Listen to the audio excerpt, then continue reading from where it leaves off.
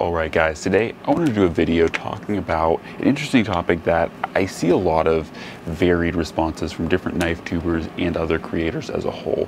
And that is something that, in my opinion, uh, a kind of learning lesson, and I always enjoy sharing these. And this is why I never sell or trade my knives anymore.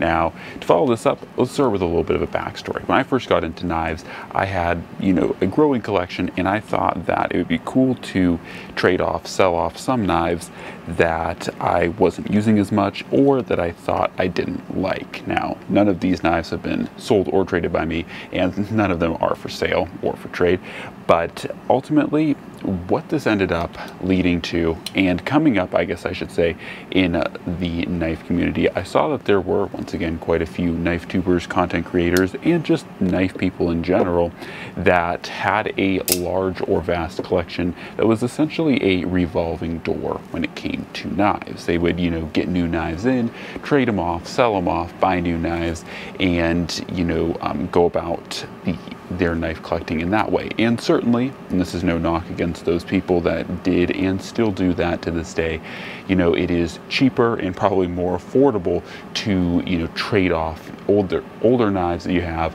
for new knives to you know make content on and just overall experience. And while that is a very true point the reason why I no longer sell and or trade off knives that I collect unless there's a really really pressing uh, desire to do that is because I found myself repetitively selling off knives that I actually ended up really liking and would subsequently go back and buy a similar knife. And for example here are a couple that I did actually sell off and buy similar knives. Not the same, of course, but I did end up buying essentially the same models again. So the first one for me, or one of the most notable ones I should say, is the Chris Reeve Knives Sebenza or Large Sebenza 21. I originally had an Insingo grind, kind of plain Jane, just titanium scaled uh, Sebenza 21, Large Sebenza 21, and I had ended up selling it because I thought that was a good idea. And and it was one of those knives that I think like one of the tricky parts was and like I said this is why I kind of made this hard and fast rule of just don't sell or trade off knives is because I, I looked at it and it's like you know I don't carry it as much as I used to. Maybe I don't like it quite as much as I used to. So you know what the heck? Might as well sell it off you know use it to fund some other purchases on other knives. Well that was a, you know, that was the thought in the moment, but then there kind of comes down to that point where you look and you're like, man, you know, I really miss having that knife in the collection. And you go to reach for it, you go to EDC it, and you know, you don't have it anymore. And so that was what happened with me in the Sebenza or large Sebenza 21, and why I ended up actually getting the micarta inlay Tonto version of this blade, is because I knew that if I was going to get another one, I wanted one that was a little bit nicer nicer than my previous version and that is how I ended up with this guy. Now another one that is a little bit more affordable but another one that fell into the same circumstances was the mini grip or the Benchmade 556 and this is one that I originally had a black handled version of this basically same steel same basic knife but with a black um, FRN or um, whatever the they use for these handles.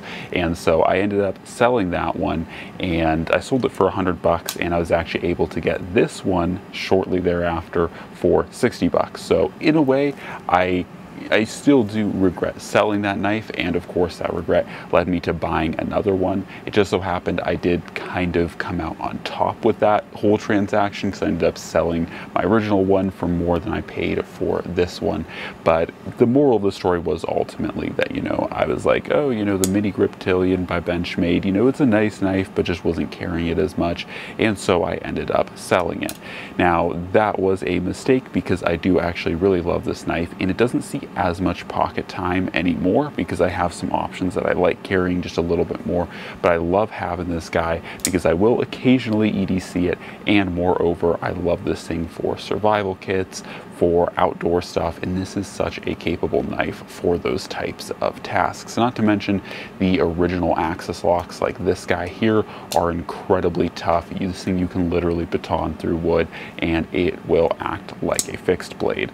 So it's really strong, really tough, but this isn't a video about the 556, just a, a video that's saying I regretted selling it. So with knives like those, and there are multiple other knives that fell into the same kind of exception for me, I decided that after, after losing those knives and having to essentially just buy them back, I was not going to sell off or trade off any more knives. Now, the kind of asterisk to this is yes, I do still sell and very, very rarely trade off knives, but I only do so after having had the knife for quite a long time and genuinely knowing that either A, it's not a knife that I really enjoy using or really like using, and could I live without it? And those are some of the exceptions that as I've grown in my kind of knife collecting, I, I know my tastes um, more or at least I understand, you know, what I like to have and don't like to have in my collection.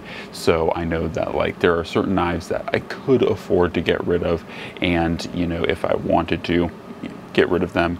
But by and large, I try to not really get rid of any because one, a lot of these knives are useful for certain types of videos, pointing out you know, specific types of EDC tasks. And once again, a lot of these knives do see very frequent EDC. Once again, it's kind of nice to have, you know, 30 plus knives that you can pick and choose whatever you want for whatever tasks that you need to do. So definitely there is a level of collecting to it, but at the same time too, there's also a lot of purpose behind it. And I think when I was initially, you know, like selling off knives, I didn't fully realize that.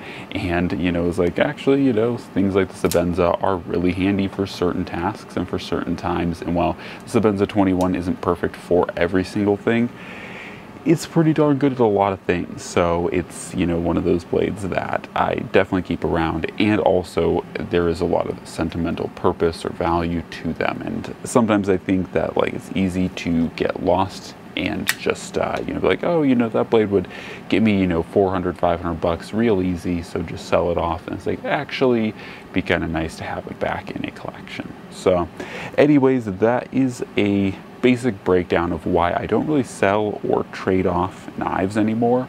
Um, like I said, I will every so very often, but by and large, unless I really, really know that there's a knife that like I just don't use or just don't like, a lot of it comes down to if I just plain out don't like a knife, then I'll probably sell it. But for the most part, like my collection is knives. Like I really only buy the things that I know that I really want or have really been after.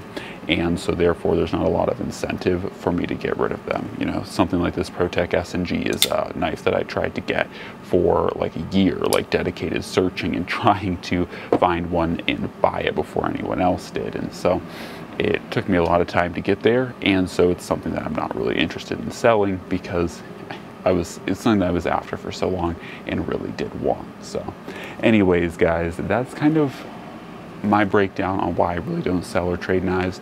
Hopefully you guys found it enjoyable. I thought this perspective was a little bit different than most knife tubers because I see so many of them, like I said, essentially have a revolving door of knives, which is cool in its own right, I suppose. But I definitely, if I was in that case, there would be a lot of knives I'd look back at and be like, man, you know, I really love that knife. And then I just end up going out and buying it again. So for me, I'm like, I just try to keep it because I know that I would buy another one. Anyways, guys, as always, God bless, and I'm out.